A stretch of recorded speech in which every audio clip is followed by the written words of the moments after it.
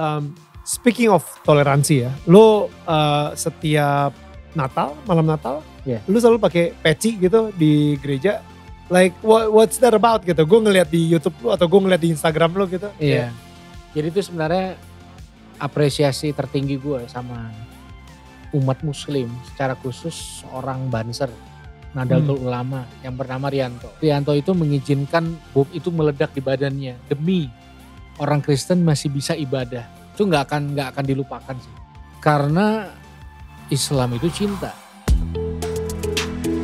Hai, ini gua Daniel, tetangga kamu. Di sini gua akan ngobrol dengan tetangga gua tentang perjalanan hidup mereka dari kacamata spiritual di saat mereka mengalami situasi tidak pasti dan kekhawatiran sampai bisa kembali bangkit menjadi orang yang lebih kuat dari sebelumnya. It's gonna be very exclusive and inspiring. Jangan lupa ya untuk like, share, dan subscribe. Thanks guys. Kembali lagi bersama gue di Daniel Tetangga Kamu dan masih bersama Yeri Pati Nasarani. Dan buat kalian yang baru aja nonton di part ini, gue saranin kalian harus banget wajib nonton part-part sebelumnya. Karena ini adalah hari keempat, alright, part keempat. Jadi ada satu sampai tiga yang belum kalian nonton. Dan banyak banget, men, cerita hidup lo itu banyak banget yang bisa kita ambil sebagai pelajaran hidup kita juga. Nah, supaya kalian gak ketinggalan video Daniel Tetangga Kamu uh, berikutnya, Langsung aja kalau misalnya kalian udah subscribe, jangan lupa untuk pencet tombol lonceng atau belnya supaya kalian selalu dapat notifikasi kalau ada video yang baru aja kita upload. Alright, lanjut. Gini ya, yang kita takutin narkoba, Iya. seks bebas, Iya. eh, pergaulan yang salah, Iya. itu segala. Dan itu semua yang tadi lu bilang tuh kayaknya akarnya gara-gara tidak ada kehadiran ayah yang mengasihi. Betul. Betul. Let's talk about tidak ada kehadiran ayah ini. Gue gue kemarin pernah baca juga bahwa uh, this world dunia ini is a fatherless world gitu. Um, you know, apakah itu fatherless dalam, dalam segi tidak ada ayah di surga gitu ya, tidak ada bapak di surga, atau fatherless dalam arti yang sangat literal. Um, karena laki-laki sekarang kalau misalnya dia pengen cabut dari rumah ninggalin anak itu kayaknya di beberapa negara udah sah-sah aja gitu Iya. beberapa negara itu kayak nggak ada konsekuensinya ketika dia ngehamilin orang, dia punya anak dan dia cabut. Iya. Di Indonesia pun juga, aduh men, gue denger cerita baik banget, bule datang sini ngambilin orang, cabut ke negaranya. Misalnya kayak gitu gitu ya. Ya nggak bule juga sih, misalnya dari luar kota pun juga sering ninggalin bibit di mana-mana Iya. gitu kan. Nanti kalau meninggal baru pada ini anak dari mana nih? Anak dari mana nih? Iya, Ini dari mama yang mana nih? So dan dan akhirnya kita jadi banyak di dunia ini banyak banget anak-anak yang tumbuh tanpa seorang figur bapak. Betul. Makanya menurut gue movement ayah hadir ini penting banget. Tell me bagaimana sih em, apa sih hal yang harus kita lakuin juga supaya kayak kita sebagai seorang ayah Hmm. Bertanggung jawab Iya. gitu. Atau seorang laki-laki minimal bertanggung jawab gitu. Jangan hamilin orang habis itu langsung cabut. Jadi kalau ayah hadir ini ya bro, sebenarnya penekanan cukup besarnya ada di calon ayah. Oke. di calon ayah. Jadi bagaimana caranya kita berhasil mengedukasi laki-laki sebelum menikah. Dengan berpikir gini, kalau mau menikah tapi nggak mau bertanggung jawab, ih jangan nikah. Hmm. Mendingan gak usah nikah. Daripada lahir anak-anak yatim piatu semu. Nah di sinilah kita harus memenangkan pertempuran nilai. Menabrakkan culture. Sehingga anak-anak yang akan jadi calon bapak adalah anak-anak yang fatherless ini kebanyakan hari-hari ini. Ya. Yang dia berpikir gue gak mau kayak bokap gue. Tapi dia gak punya source lain gitu. Figur lain. Figur lain Ya. atau cerita lain. Ya. Ya. Edukasi-edukasi buat calon kalau di Kristen ada bimbingan pranikah. Hmm. Apa pun lah nilai-nilai kepada calon ayah itu kan minim banget gitu. Hmm. Ya kan misalnya gini ada orang ditanya, ayolah bro kita serius dengan Tuhan supaya kita jadi lebih oke lah sejati lah gitu kan. Pria sejati kan orang bilang kurang sejati apa gue bro? Anak Hmm. lima. Hmm. Kalau cuma anak lima kucing juga lima anaknya. cuma kan orientasi akhirnya pride laki-laki ada di situ, gengsi, nama baik, ini dan sebagainya sehingga bagaimana berkorban mencintai anak, membangun anak, membangun keluarga Hmm. itu nggak jadi sebuah chord penting gitu. Nggak punya ruang luas di hati banyak Ya. ayah hari ini. Ya, gitu. ya. Gue uh, kita ini sebagai laki-laki, kita adalah laki-laki diciptakan penuh dengan misi. Ya. Oke, contoh, ketika kita SD, misi kita adalah lulus SD ke SMP. SMP, lulus SMP ke SMA. SMA uh, bisa kuliah ketika kita, misi kita apa? Kalau misalnya lu belum punya pacar, Hmm. misi kita adalah punya pacar. Iya. Oke, jadi setelah kita kuliah, kita punya pacar. Setelah punya pacar, misi selanjutnya apa? Nikah. Nikah. Ya, oke, udah nikah. Setelah udah nikah, misi selanjutnya apa? Punya Hmm. anak. Setelah punya anak dan punya uh, udah nikah, misi selanjutnya punya rumah. Setelah punya rumah, rumah udah cicilan dan lain-lain. Sekarang misi gue adalah menghidupi istri dan anak-anak gue Hmm. di dalam kerjaan gue. Hmm. Itu adalah misi gue. Ya. Sehingga yang terjadi apa? Misi kita sebagai seorang ayah, misi sebagai seorang suami, udah kita lupain karena itu Iya. udah accomplish. Iya. Sama seperti misi-misi kayak di SD, SMP, SMA Iya. dan lain-lain gitu. You know, dan itu yang bahaya menurut gue karena em, kita, gue makanya sering banget eh, istri gue ngingetin gue kayak, hey lu boleh deh spend time sama anak-anak lu Hmm. gitu karena lu udah terlalu baik kerja sekarang gitu. Tapi tapi kan sekarang nih kerjaan lagi oke lagi hot gitu atau misalnya lagi sibuk gitu kan. No no no no. Ini yang istri gue bilang. Gue gak peduli lu punya six pack. lu udah selesai maraton berapa banyak. Lu jadi orang tersukses terkenal di Indonesia. Tapi kalau keluarga lu hancur. Lu bukan orang sukses. Lu tetap adalah orang gagal. Bini gue bilang kayak gitu. Makanya spend time sama anak-anak lo. Itu itu sangat sangat kena banget buat Iya, gue iya. dan saat itu gue membuat sebuah keputusan untuk em, mempunyai break setiap misalnya satu hari dalam seminggu break benar-benar handphone gue tutup bro di gue kunci di laci nggak gue lihat gitu kan Hmm. jadi gue itu break gue dan itu benar-benar pure gue spend time sama anak-anak gue sama istri gue kayak gitu dan Hmm. dan iya karena perkataan istri gue itu Ben Iya, iya, iya.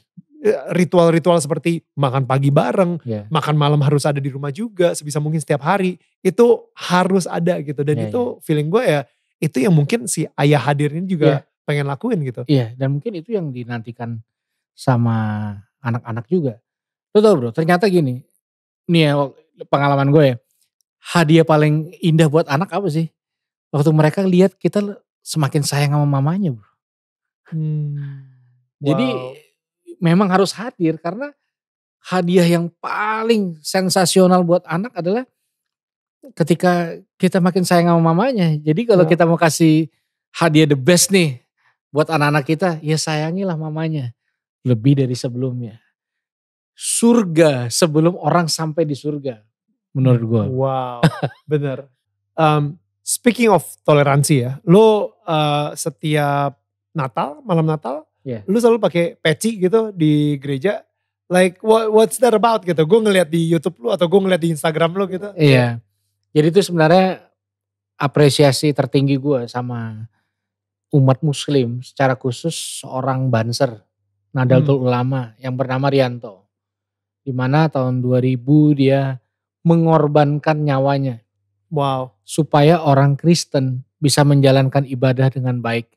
Waktu itu dia melihat benda asing lalu dia ambil ternyata itu bom yang ditujukan untuk orang Kristen. Tapi Rianto itu mengizinkan bom itu meledak di badannya demi orang Kristen masih bisa ibadah. Masih bisa pulang ke rumah ngumpul sama keluarganya. Nah makanya harusnya umat Kristen di Indonesia bersyukur tinggal di Indonesia di mana berpenduduk muslim terbesar di dunia. Karena Islam itu cinta. Orang suka nanya sama saya, menurut saya, menurut gue Islam itu apa? Menurut gue Islam itu cinta. Gitu. Dan kita mesti syukuri dan itu makanya sebuah ritual. Kalau Tuhan izinkan mungkin eh, tahun ini gue pengen ke lokasinya untuk mengajak perenungan gitu. Gue pakai eh, peci Nadatul Ulama, gue berkunjung bersilaturahmi ke pondok-pondok pesantren di sana untuk menunjukkan bahwa umat Kristen masih bersyukur loh sekalipun udah udah lewat eh, lama gitu bahwa Tahun 2000 ya itu? Iya tahun dari- itu nggak akan nggak akan dilupakan sih. Salah satu pahlawan Natal dan itulah Indonesia.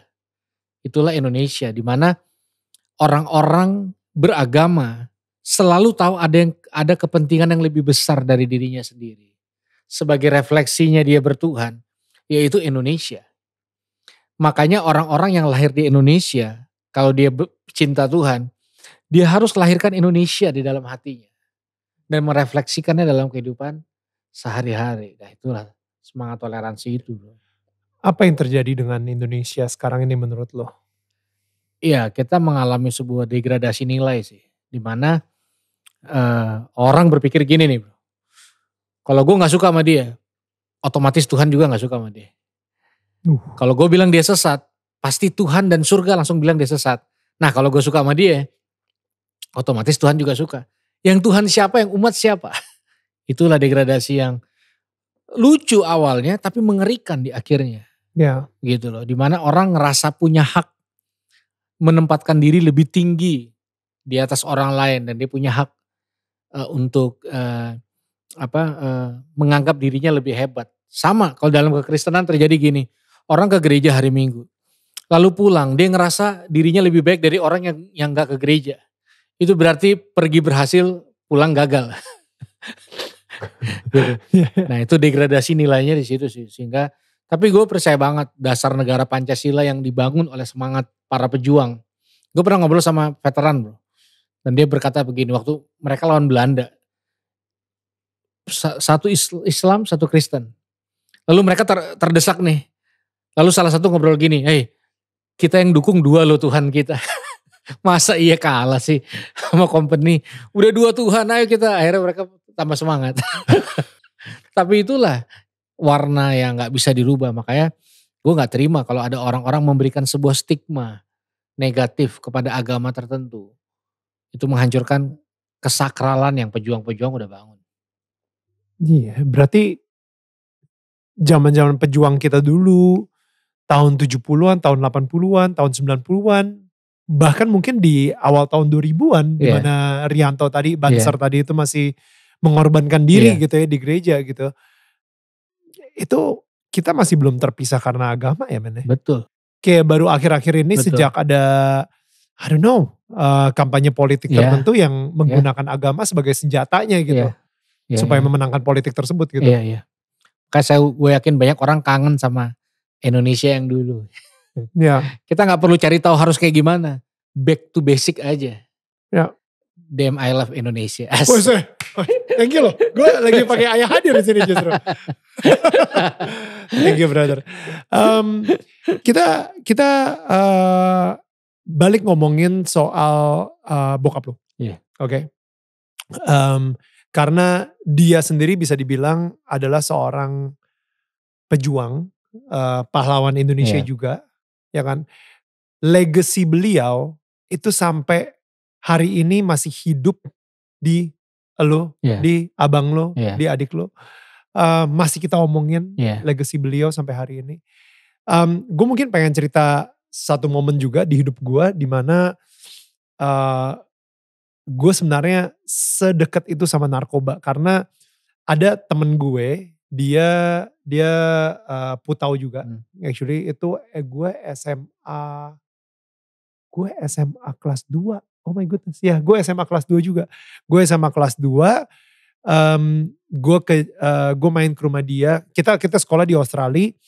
Gue main ke rumah dia di Jakarta. Gue udah tahu kalau misalnya dia itu suka pakai PT, dia bilang kayak gitu kan, PT, PT gitu. Gak tahu itu putau gitu kan. Dan gue main ke rumah dia dan dia literally dia linting uang Eh, seratus rupiahan gitu hmm. gitu atau 500 gitu gue lupa. Uh, dan dia bakar di depan gue dan habis itu dia uh, hirup dan habis itu dia bilang sama gue, bro, ini anak nih, ini anak pinter. Dan dia, you know, orang-orang mungkin yang pemakai narkoba hmm. ini ya, kayak they're an amazing salesman dan mereka sendiri juga secara influence tuh hebat gitu, hmm. jago bergaul. Gue tuh kayak lumayan look up sama hmm. dia actually gue lumayan kayak wow gila ya gue pengen banget tuh kayak secool dia hmm. ya gak sih nah akhirnya dia bilang sama gue dia ngeliat ke mata gue dia bilang kayak bro lu tau gak ini nih barang mahal banget tapi karena lu belum pernah nyobain gue kasih lu gratis deh karena padahal ini mahal banget loh bro dia bilang gitu wah gila itu darah Cina gue langsung kayak wow barang gratisan cuan cuan cuan cuan nih gitu kan cuman abis itu ditambahin lagi nih Lu tau gak Nil? Biasanya nih orang kalau misalnya nyobain mereka akan muntah. Hmm. Tapi kalau orang kuat, pff, mereka nggak akan muntah bro. Dia bilang kayak gitu. Gue penasaran deh, lu kira-kira bakal muntah atau enggak ya? Wah asli, gue udah udah barang gratisan, gue ditantang Tantang pula ya. gitu. Udah kayak challenge accepted, ya kan udah kayak gitu. Tapi gue ingat saat itu nyokap gue yang akan jemput gue dari eh, rumah dia. Nyokap gue, bukan supir gue. Biasanya nyokap gue antara nyokap gue atau supir gue. Tapi saat itu nyokap gue, kebetulan banget nyokap gue. Kalau misalnya saat itu supir gue yang jemput, most probably gue cobain. Gue gua nggak ada masalah sama cinta kasih di rumah gue. Gue nggak ada masalah sama keluarga gue harmonis banget gitu kan. Gue nggak broken family dan lain-lain. Tapi kemungkinan besar kalau bukan nyokap gue yang jemput gue, gue nyobain. Gue bilang sama dia, wah sorry bro, bentar lagi nyokap gue nih bakal jemput gue. Jadi em, aneh lah kalau muka gue beler gitu di depan nyokap gue. Santai bro, bisa minum jeruk. bisa minum air jeruk. Gak, gak kecium baunya, lu bakal sadar lagi, nyantai aja kok bro. Gue yang kayak pengen banget, pengen nyobain banget tapi akhirnya jangan deh, jangan deh, gila. Gak, nanti kalau misalnya gue sampai ke gap sama nyokap gue, gue gak mau, malu gue, bla bla bla, kayak gitu kan. Pada akhirnya gue gak nyobain. Tapi itu mungkin bisa dibilang sampai hari ini gue masih ingat karena itu momen terdekat gue dengan narkoba dan gue hampir dan gue masih ingat namanya siapa, gue masih ingat eh, gue ada di mana, kamarnya seperti apa. Itu momen terdekat gue banget gitu. Dan em, nasib gue bisa berubah banget kalau bukan karena lindungan Tuhan saat itu sama hidup gue gitu. You know, sekarang nih bagi orang tua. Tadi kita udah ngomongin soal ayah hadir. Ibu sendiri gimana? Kalau nyokap gue tuh ya gini, ibaratnya gini, bokap tuh gampang dibohongin lah. Nyokap tuh nggak bisa. Gitu. Jadi makanya kan kenapa kampanye ayah hadir karena kebanyakan ibu-ibu ya memang udah ambil tanggung jawabnya Oke. gitu. Nyokap gue tuh asli nggak bisa dibohongin. Dia bisa tahu di titik mana gue lewat mobil nih, gue nunduk. Dia bisa tahu itu gue. Itu puluhan kali. Dia bisa nebak, tek di rumah ini ada gue. Abis make. Gitu. Gue, dia liat, dia selalu bilang gini, hidung kembang kempis udah pasti aneh-aneh. Hmm. Nah jadi di situlah eh, sebenarnya eh, peranan penting sih. Bukan cuma kita ya, mendampingi suami. Hmm. memastikan suami tetap sehat, tetap waras, tetap mau dampingin. Ya Hmm. di situlah peran ibu Hmm. gitu loh. Makanya gue yakin tuh insting nyokap bro. Hmm. Iya kan, karena dia dia bisa hafal sesuatu yang membahayakan keluarganya. Hmm. Meskipun dia nggak bisa ngambil banyak tindakan seperti suaminya, tapi itu yang membuat kita eh, selain terjaga ya sadar ada yang sayang gitu. Hmm. Nah nyokap gue tuh sangat kuat dalam insting. Wow. gitu. Dan makanya tapi dia nggak berdaya. Perkataan dia yang paling buat gue hancur hati adalah ketika dia ngomong gini, apa apa perlu mama mama make juga di depan kamu? Yuk kita make bareng. Wah itu hancur lah hati itu. Karena keputusasaan eh, berkali-kalinya gue gagal gitu. Tapi peranan nyokap, nah makanya hari ini semaksimal gue adalah gue membalas lah. Sebenarnya jasa nggak mungkin bisa dibalas sih. Iya. Iya kan. Bagaimana nyokap masih ada kan sekarang? Iya.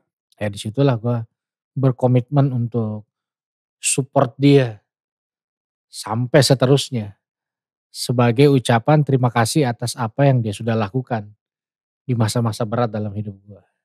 Dia suka nontonin gak sih nih YouTube-YouTube yang Dia deg-degan kalau nonton kadang-kadang gue ngerti kalau dia nggak mau nonton karena dia orangnya kadang visualisasi gitu Iya, keputarlah filmnya. Iya. Makanya kalau- Perasaan yang dulu ini Ah, ada lagi. Iya, gitu. makanya kadang-kadang kalau diajak ngobrol gini dia pasti nggak kuat lama. Habis itu ya sudahlah karena emosionalnya muncul lagi. Hmm. Dan itu juga terjadi sama sama bokap gua sebenarnya. Hmm. Ya cuma dia mungkin meredam aja tapi ketika flashback itu kayak mimpi buruk bercampur semua semua semua di depan mata dia lihat semua udah udah oke. Tapi eh, nggak bisa dipungkiri bahwa memori itu nggak bisa hilang kecuali dengan dibantu oleh anak-anaknya memulihkan gitu sih. Ya. Pernah ada satu peristiwa bro. Jadi gue waktunya pulang Dari Cina ya. dari Cina tuh. Kata paspor gue dicopet orang. Waduh. Dan gue gagal pulang. Begitu gue gagal pulang ke Indonesia, gue balik rumah sakit, dia nangis di depan rumah. Ternyata dia berdoa supaya gue gak pulang. Karena dia mau menghadapin treatment yang berat setelah itu. Iman yang dia punya, dia percaya banget iman dia bisa menyembuhkan kedua anaknya. Iya. Tapi ternyata Dia setelah enggak. itu dia enggak. Iya. Like, like, gue gak ngerti gitu. Waktu Tuhan kasih gue bokap, gue bilang sama Tuhan, thank you. Waktu Tuhan ambil bokap gue, harusnya gue bilang apa? Thank you. Karena bukan punya gue. Di situ gue ngerti. Kenapa dia diizinkan Tuhan. Karena di akhir dia bilang dia percaya. Karena bokap punya Tuhan. Bukan punya gue. That's really good.